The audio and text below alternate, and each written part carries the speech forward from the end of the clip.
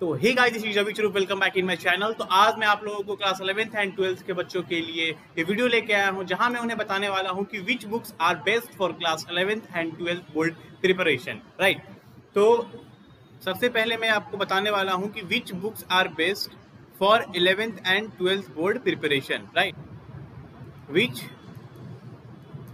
books which books books are best which books are best for 11th 12th which books are best for 11th 12th and NEET जो बच्चे NEET की preparation कर रहे हैं या JEE की preparation कर रहे हैं कौन सी बुक उनके लिए बेस्ट है और जिसमें उनका बोर्ड भी इंक्लूड हो पाए फिजिक्स की बात करूँ मैं, फिजिक्स की बात करूँ मैं तो हमारे पास मैंने आपको सबसे पहला चीज़ बताया, एस एल अरोड़ा।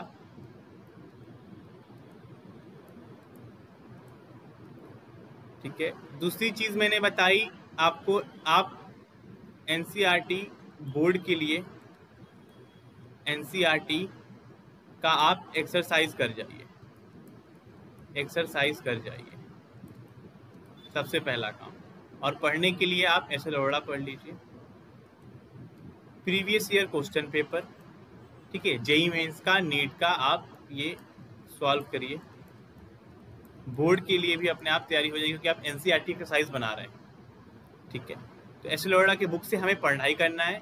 उसमें सब कुछ दिया हुआ है। एनसीईआरटी एक्सरसाइज करना है पी वाई क्यू बनाना है, ठीक है? फिजिक्स के लिए।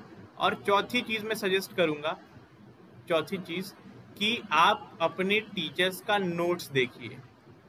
ठीक है, आप बोलोगे, सर, इतनी सारी चीज़ें? तो बच्चा, मैं इसमें से आपको एलिमिनेट कर देता हूँ। अगर आपको अगर आपको ये एन e जो है एक्सरसाइज नहीं सॉल्व करना है फिजिक्स में तो बच्चा, आप मत सॉल्व करिए। आप अपने टीचर का नोट्स अच्छे से पढ़िए। ठीक है, ये नहीं करना है, मत करिए। अपने टीचर का नोट्स अच्छे से कर जाइए। ठीक है एस एल अरोड़ा अच्छे से कर जाइए। पी क्यू बना लीजिए आपका नीट में अच्छे मार्क्स आने से कोई नहीं रो, रोक सकता है। और आपका बोर्ड में भी अच्छे मार्क्स आने से कोई नहीं रोक सकता।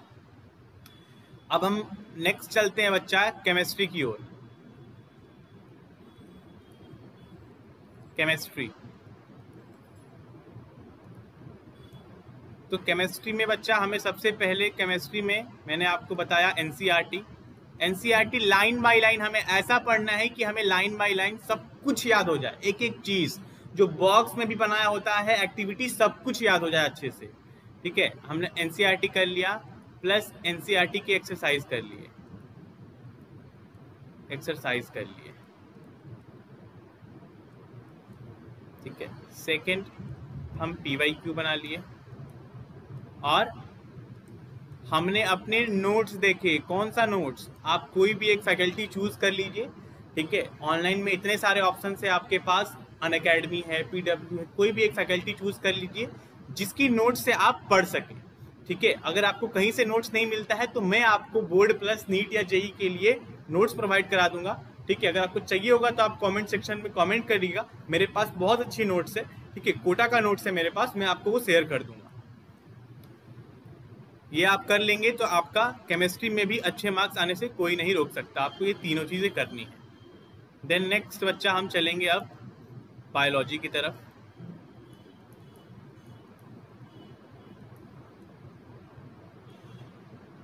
बायोलॉजी में हमें सबसे पहले बच्चा, मैंने आपको बताया एनसीईआरटी